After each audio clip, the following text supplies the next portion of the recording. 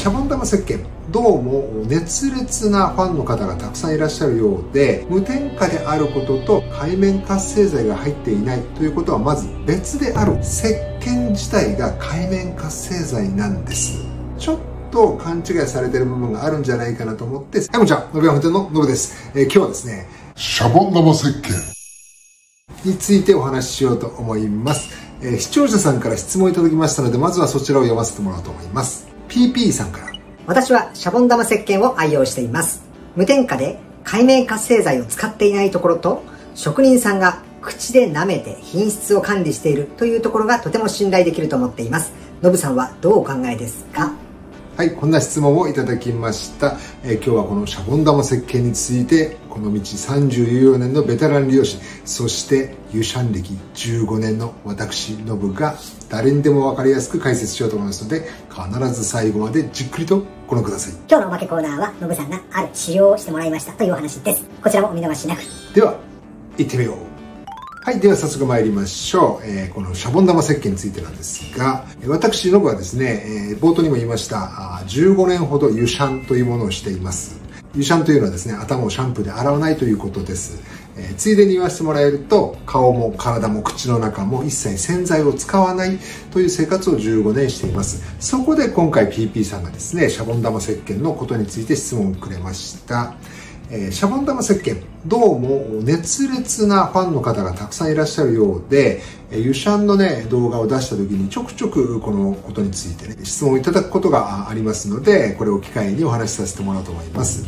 えまず最初にお断りしておきますが私のシャボン玉石鹸という商品を。一度も使ったことがありません。そして一度も調べたことすらありません。が今回の質問はですね非常にノブさんが引っかかる部分がいくつかあったので、そこを皆さんと共有できればなと思います。まず最初に、無添加であるということね。無添加というのは、例えば着色料とか香料とか安定剤とか、そういった本来の目的以外に添加されているものが入っていません。これを無添加と呼ぶんじゃないのかなと思うのね。で、この質問の中には無添加で界面活性剤を使っていないところが気に入っているという文言があります。まずねはっきり皆さん覚えておいてほしいのは無添加であることと界面活性剤が入っていないということはまず別であるということを知ってくださいね。そしてこれがね今回のお話で一番重要なところなんですがシャボン玉石鹸というのは石鹸なんですよね。ということは石鹸自体が界面活性剤なんです。これ、えー、他の質問でいただいた方もちょっと勘違いされてる方が多いんですがシャボン玉石鹸は界面活性剤が入っていません。こう思ってる方結構多いんです。これねおそらくそういった方は石鹸という界面活性剤と合成界面活性剤が別である。これは事実なんだけどそのことを混同しちゃってるんじゃないかなと思うのねなので無添加であることと界面活性剤が入っていないということは別であるしシャボン玉石鹸は界面活性剤が入っていないということも別の話なの。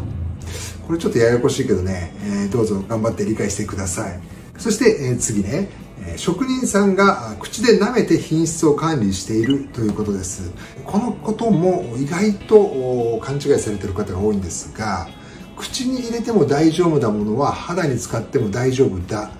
こういった考え方の方結構いらっしゃいますね、えー、では聞きます。お醤油美味しいじゃない、ね、お醤油食べてね健康にもいいし。じゃあそれを肌に塗っても大丈夫か？というとそんなことはないことぐらいは誰もがわかると思います。なので逆に言うと肌に優しいものが舐められるからより安心だ。ということも言えないんじゃないのかな？というのがノブさんの考え方ね、えー、なので、えー、ここで話をまとめますと私ノブはですねこのシャボン玉石鹸を使ったことがありません。調べたこともありません。なので当然シャボン玉石鹸がいいとか悪いなんていうつもりが全くないんです。ただね今回の PP さんの質問の中にはちょっと勘違いされてる部分があるんじゃないかなと思って説明させていただきました。無添加であることと界面活性剤が入っていないことは別である。そしてシャボン玉石鹸に界面活性剤が入っていないというのは誤解であって石鹸自体が界面活性剤である。そして口で舐められるものだから肌に優しいということは言い切れない。この3つはですねどうぞ覚えておいていただければなと思います。繰り返しになりますがシャボン玉石鹸を悪く言うつもりは全くございません。何しろ使ったこともなければ調べたこともないんです、えー、なのでじゃあどうすればいいのというあなた。シャボン玉石鹸を使っていてお肌の調子が良ければどうぞお使い続けてください。ということで参考になれば幸いです。現場からは以上です。ではここからおまけコーナー参りましょう。えー、私ノブ何を隠そう。もうねちょっと前の話になるんだけどなんとなく腰がよろしくないなと、ね、ご存知の方も多いと思いますが何度かひどいぐっくり腰を経験しているのでその予兆とまではいかないんだけど腰に違和感がある軽い張りを感じるということであそこに行ってまいりました。その時の様子をご覧いただきましょう。VTR スタート。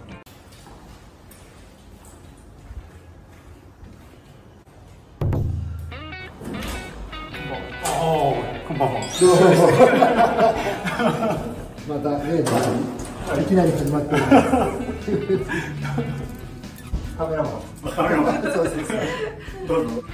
すごい上げてるねそうだよ。釣りばっかりしてるから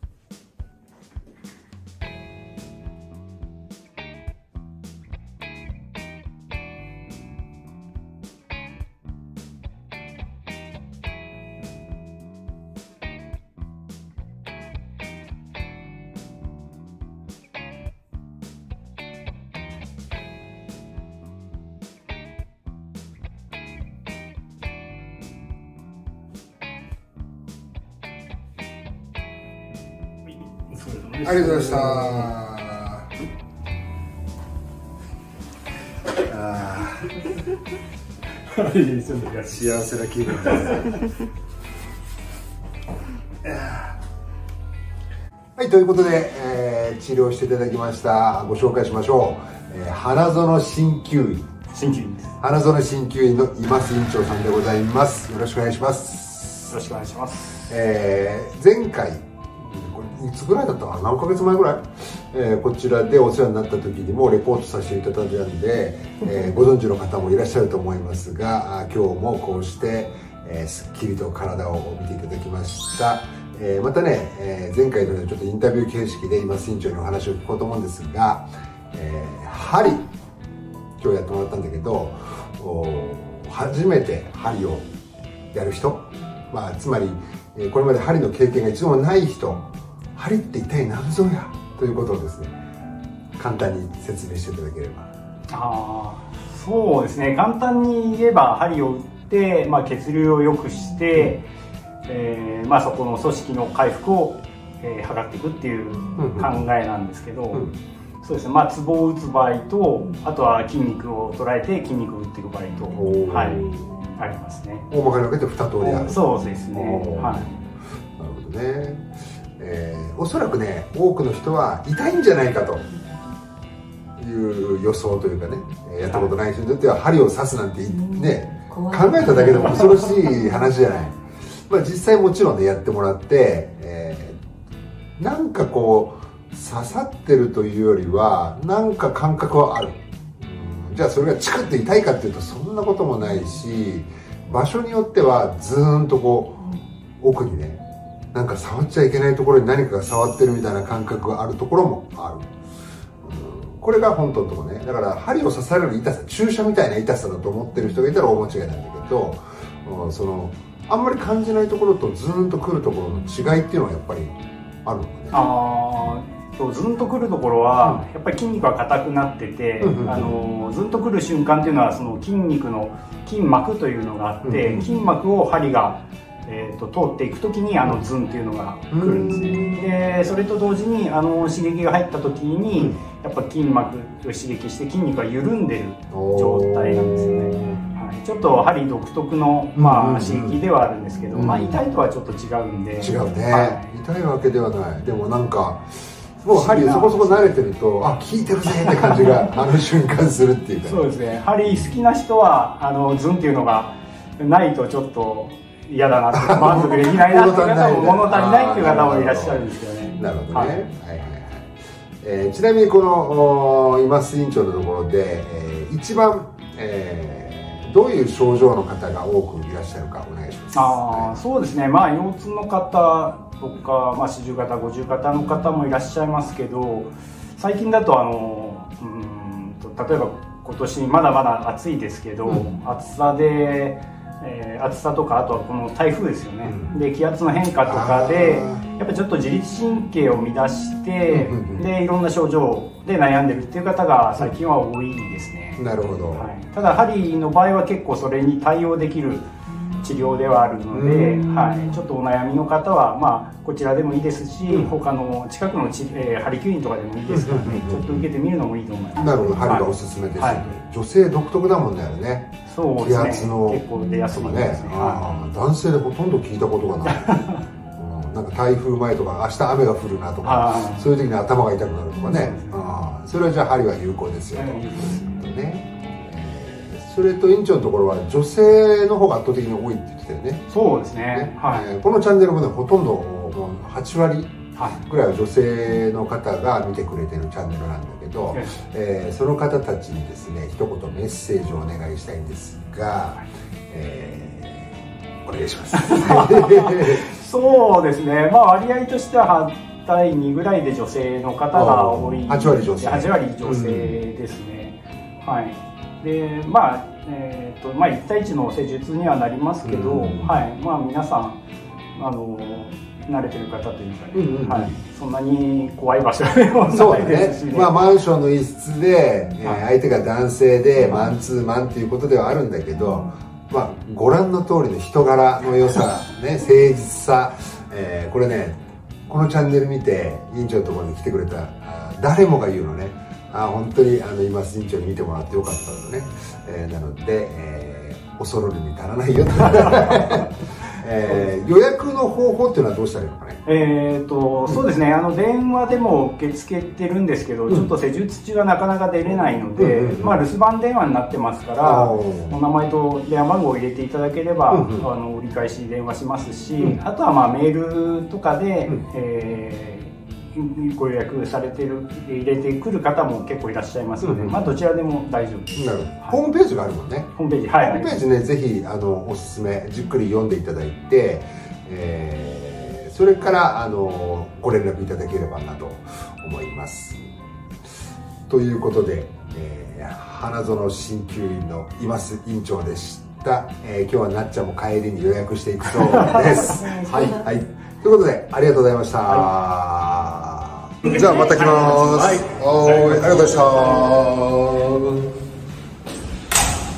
はい、いかがだったでしょうか。もうね、過去の動画で見たよと、なんならこのチャンネルの視聴者さんもですね、もう通ってるよなんて方も何人もいらっしゃいます。そう、ノブさんの中学の時の同級生の今須委員長をご紹介しました。VTR の中にもありましたが、首や肩や腰だけじゃなくてね気圧の変化による体調不良だったりそういったことも針は対応しているそうなので